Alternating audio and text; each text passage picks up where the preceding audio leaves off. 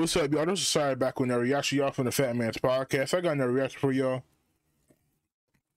But before we get into this reaction, y'all, please hit that like button and subscribe button. I'm trying to hit 800 subscribers by the end of this month, y'all.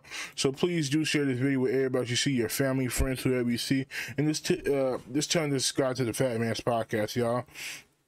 But if you want to go see the original video, y'all, it will be up in the description box.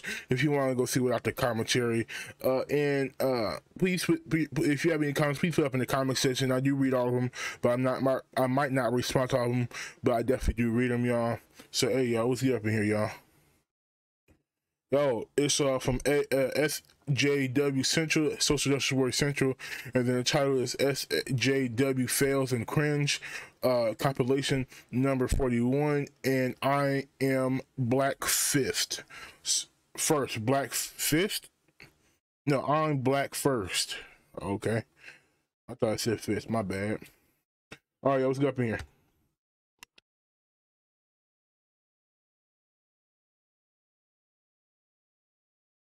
A New Jersey high school student, under uh, New Jersey high school, that is to say, under fire after President Trump's name is removed from two students' yearbook photos. You can see them wearing the name on their clothing.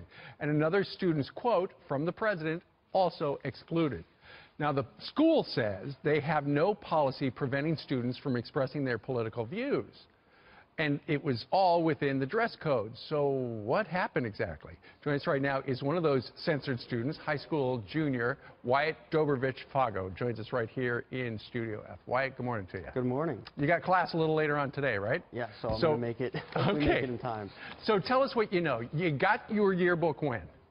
Last week at about Wednesday. All right, and you opened it up, very excited to see that sweater that you're my, wearing right there. Yes, my, and, and what'd you see? Um, it wasn't there. It was cropped out of the yearbook, as well as my sister's quote was cropped out of the, uh, was not put into the yearbook. Right. And we should put, we should, and we can put up the, the images. It wasn't just that your photo was cropped. Somebody photoshopped Trump off that. And it wasn't just with you, was it? It was with another student uh, in my grade. And so when you put all these stories together, there's definitely something going on. There was a deliberate attempt to censor and to silence someone's freedom of speech. All right. When you realized, and there's the other student, is, his name is Grant? Grant, yeah. All right. and clearly Grant's shirt has it been so photoshopped. Yes. You, there's no doubt about what had happened there. The big question is what happened? Any idea? I don't know. I guess someone just didn't like our president and wanted to not have him in the yearbook, but that's taking away mine, Grant's, and my sister's freedom of speech and freedom of expression. Sure. Keep in mind, Donald Trump is the President of the United States exactly. today. It's a part of history. It's not like they can just Photoshop that away. Exactly. He's the President. Maybe somebody doesn't appreciate that back in the Photoshop department. And this is where I think that with everything that's going on in today's country and stuff, this is where it's got to end. You can call anyone names, you can say whatever you want, but censoring someone's freedom of speech and freedom of expression is where we've got to stop where this stuff happens. It's just, it's insane. Sure. And we've got an image of your sister, who is the freshman class president? Correct. And she submitted a quote, and it was, uh, I like thinking big. If you're going to be thinking anything, you might as well think big. That's a quote from President Donald Trump. And they didn't even put her quote in there, exactly. even though she submitted it on time and asked the advisor if they'd gotten it, right? Yep. Something seems kind of fishy. Something's a little fishy. All right. So what do you want? Uh, we should also point out that the uh, school district said the allegations are disturbing. Indeed, the administration applauds students for becoming involved in politics, making their voices known, and taking an active part in our democracy. There's a statement right there. What do you, so they're going to, I understand your mom's going to meet with uh, school officials later today to try yes. to figure out what happened. What do you want to happen? I think that it would only be fair to make sure that all the yearbooks are reissued with our photos fully intact the way they should be and with my sister's quote into the yearbook. And I think also that the people or person who did this should be held responsible because it is a violation of mine and other people's First Amendment rights, and that's wrong. So essentially you want to find out who the uh, Photoshopper is. You want to unmask them. We want to unmask the Photoshopper. All right. It would take to up and root well, right now, take what I have on me and just... I guess on the other hand, like, do you think our economy can handle just anyone? Just, just, just The open the that there valve. are eight people who own like 90% of the world's wealth tells mm-hmm. me that yes, we should be able to support all people. But So, well, how would that work? We live in an oligarchy. Yeah. So how would it work to like undo that? To redistribute the wealth. Like just by taxes or like? No, by radically changing the system and taking the people who have all that money, holding them accountable for their actions, jailing them, and redistributing the money that they've So like some stolen. some Stalin shit, huh? no. That's what they did. That's what they did. Well, that's not what I agree with. That's not Well, you said jail them Listen, Iceland re- did it. Iceland had a completely peaceful res- revolution.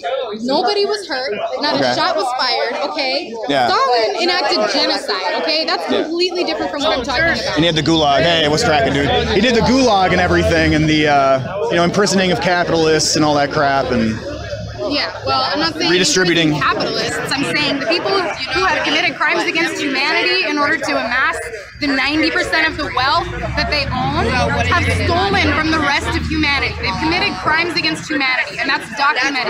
And they continue to get away with it. Can you And- name those people? Well, there's I can. Rothschilds, the Rockefellers, Queen Beatrix to the north. Some of these people you speak of, they're women, old women, not just men. I know I'm not. I'm not saying that. Woman, I'm not saying that. that. see, I thought you just meant the rich in They're general. not all men. They're all. A lot of them are women. Sure, In they're fact, Do you, do you mean do you mean the rich in general should be treated like that, or just people who committed crimes? People who committed crimes against Okay. humanity. Like, And as the decades move along, we're going to realize that the, the the way that the gas industries and the coal industries have affected our planet are crimes against humanity. What do you think about the Saudi Arabian government? Do you think that they fall into that I, category? I don't. I've never been to Saudi Arabia. You should go. You should go. Shouldn't she go? No, I should not go. No, I have she lots should of go. reasons for not wanting She to should. go. Well, you're a woman. They'll love you there. Um, I'm just kidding. Just kidding. Okay. Yeah. I like the joke though. Hey y'all, stopped at the six minute mark. I usually stop at that five minute mark, but you know they was talking. Um,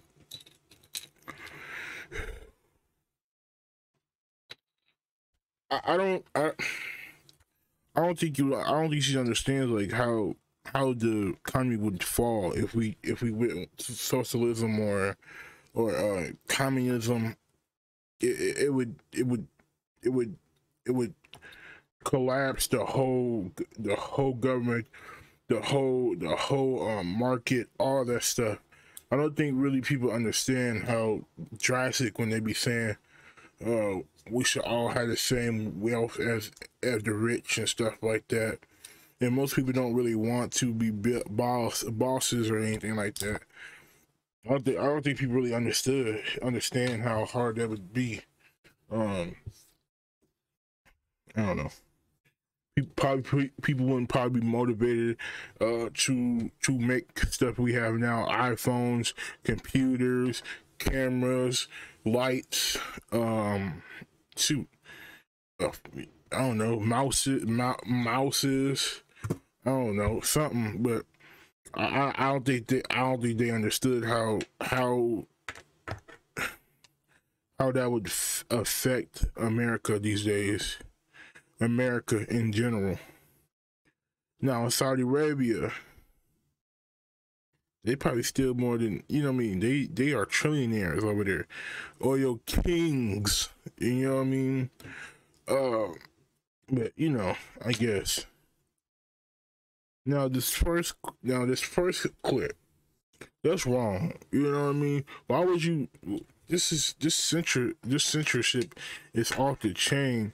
All this man had was a Donald a Trump vest, and the other guy had a Trump "Make America Great Again" shirt, and they cropped that out or they edited it out. That is wrong, and he's absolutely right. They should reissue the the uh, the yearbooks and uh, get this man in trouble. Whoever man, woman, whoever cropped this stuff out the pictures should get in trouble for it. Um, I'm not saying jail time, at least a fine, or you know, uh, say sorry to the family on camera and post it. I don't know, something like that. I don't know, something like that. Um, I just think that's wrong, and they know that's wrong, and the school should do something about it. Uh, so I hope, I hope they, I hope they get them. I hope they get the person that did that, and um, you know, get him in trouble and something like that. Give him at least a, a sentence or get him fired, something like that. I don't know. But hey, y'all, let's get back up in here. No. No, they don't. I But don't- they fall into that category. I, I'm aware. sarcasm. There are people in, in pretty much every country who've done some really correct things and who have colluded with what's going on. Yeah. Now, before we kick off today, we are going to pause just for a moment to remember the two young Australian women who so tragically lost their lives in the recent terror attacks in London. the tragic events that took place in London last Saturday night. We stop to remember all the lives lost, all those families and friends affected by this terrible tragedy, and in particular, we reflect on the loss of two young Australian women living and working in London. trooper uh, said that he couldn't let me up there. It was right there. He let me talk to these people on the side, but he wouldn't let me walk up there. I do believe that I can walk up around uh, the back, though. So that's what I'm going to attempt to do just to document uh, this for you. But as you can see, six minutes on the side of the uh, non communists, and it's really peaceful, really nice people. Look at this, guys. Look, nice people. Oh my gosh. Wow. Hey, I, I went over there. I tried to talk to them. I got nothing but hate and screamed at. Why? You guys are so nice. What's going on here? Uh oh. Oh, oh, there they are. Look at this. Look at this.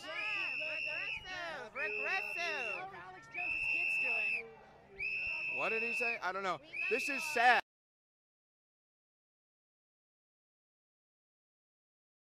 This is sad. All I wanted to do was talk to these people. That's oh, there they are. Look at this. Look at this.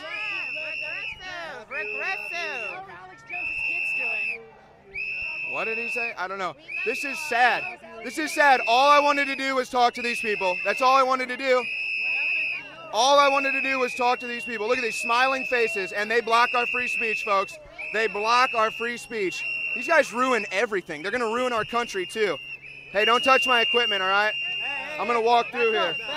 Yeah, excuse me. You touch my equipment, man. Get out of my way, please. Hey, hey, hey. Hey, can you guys move? I'm trying to document this. Hey, hey, you know what, guys? Hey, I appreciate that. Hey, guys, hey, guys, hey, guys, don't get in the middle of this. Don't get in the middle. Don't get in the middle. Don't get in the middle. These people are losing their minds here. Here come the police. Yeah. Yeah, thank you, sir. Thank you. I, I, I honestly, I feel bad. I'm not, I'm not trying to make these officers' time more difficult. Fellas, I hope you're not upset. I'm really not trying to give you guys a hard time here. I'm just trying to document this. That's all I'm trying to do. I'm peacefully trying to execute my First Amendment right, and these people are not letting me. I'm not even carrying a sign.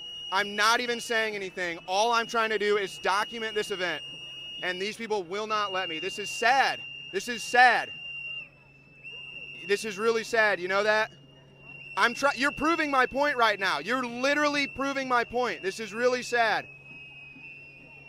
I'm sorry you guys had to put up with this. These are the fine, fine Americans out here that are patient with these people. You just heard this this man who's traveling here from England was like, if these people tried to do this in England, the cops would have whooped their ass. You ought to be thanking that these pol- these police officers are so polite. You ought to be thanking them. So from my own experience, you know, when I go to the airport and I go to untangle, you know, a pair of headphones and I get, you know, visited by somebody from TSA, it's that type of thing. We have to look at the fact that it's not necessarily So inflammatory things, it's the headphones perception. in the safe space? No, no, this is a sincere question, though. You're asking for someone, uh, not you, I guess, to pay for a safe space where people can say whatever they want.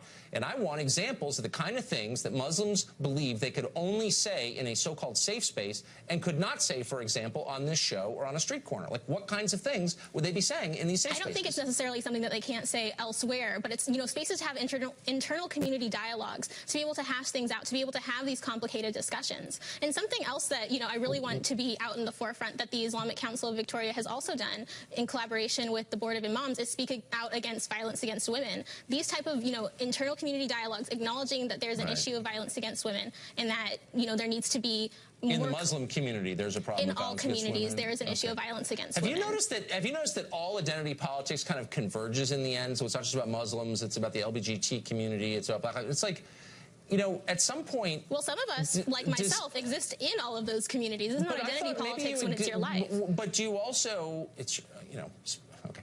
But don't you also think that primarily you're an American? Aren't we all first and foremost Americans? I'm black first. End of conversation. Thanks, Blair.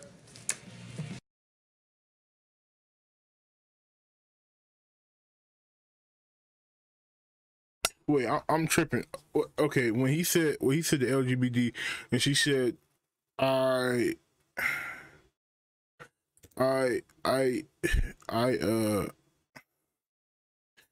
am I tripping? She said she said, uh, I identify with all them groups, or maybe maybe I misquoted her, but is she Muslim? Is that? Let me not even go there. Let me not even go there. But we know you know what I'm saying uh I'm black first. Okay, goddamn. That's cold blooded, boy. He was just asking all together we all American, but you're black first. Oh, okay. All right then. You know, that's what he said. I mean, internet be right there. Now, these the last clip. What is wrong with you people? If a man has a different opinion from you, you should not block that man from what he was trying to say. There, there's you're you are totally wrong for that. Let this man do what he let this man say what he wanted to say. Just like you guys have the right to say what you want to say. And uh the other this this the last clip we just watched, ma'am. There is no safe place out here in this world. I'm sorry. Y'all think, you know what I mean? Y'all can say it's safe place and everything, but there's always a risk of offending somebody. You know what I mean? There's always a risk of something running up on you. You know what I mean? I'm sorry, but you know what I mean? I, I mean, you could say there's like small uh, crimes in different countries and stuff like that, but there's always a risk of offending somebody. So you know what I mean. I, don't really believe in uh, safe safe uh, spaces and stuff like that. I, me personally, I don't believe it. You know what I mean. There's always a risk of offending somebody and stuff like that. So, me personally, I just don't even care. You know what I mean. Say what the fuck you gotta say. Just make sure you you uh, check your check your surroundings. Make sure you got, you know, make sure you packing something with you. Mace, it don't matter, mace, taser, whatever. Shoot a gun if you really need to just to protect yourself, which you know what I mean. That's all I re- that's all you really need, man. But hey, y'all, that's the end of the video. Y'all tell me what y'all think up in the comments. Yeah, I do read all of them. I might not respond to all of them, but I, I definitely do read them. Please hit that like button and the subscribe button. I'm trying to hit 800 subscribe by end of this month, y'all. So please do share this video with everybody you see, your family, friends, whoever you see, and tell them to subscribe to the Fat Man's Podcast. But hey, y'all, signs off from the Fat Man's Podcast and I will see you guys on the next one. Peace out, y'all.